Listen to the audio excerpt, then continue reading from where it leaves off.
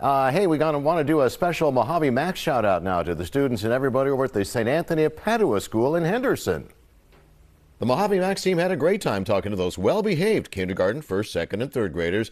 They all enjoyed it when the robotics teacher, Mr. Bullen, was transformed into a tortoise. A great way to teach them about the body parts of tortoises, but maybe even better, the thank you notes from Ms. Cook's first grade class. We're going to make sure these snapshots in super cuteness by Leo, Tyler, Claire, Benjamin, Gia, and Reagan live online, the better for sharing. And not that I'm old or been around for a long time, but it turns out that back when the teacher, Ms. Cook, was in eighth grade, a certain bow-tied TV guy stopped by her school too.